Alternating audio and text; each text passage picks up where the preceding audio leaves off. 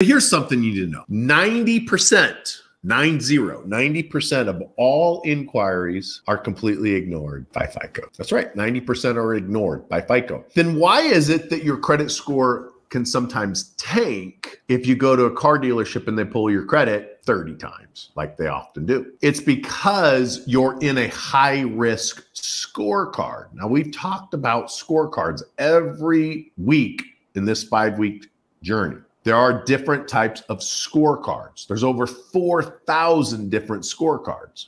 So if you're in a super high risk scorecard and you get an inquiry, you could drop 70, 80 points because of that inquiry. But if only 10% of your credit score is based on inquiries and that's 40 points, how could you drop 80 points? It's because of the scorecard. It's not because of the inquiries, because of the scorecard inside of the inquiry inside of that scorecard.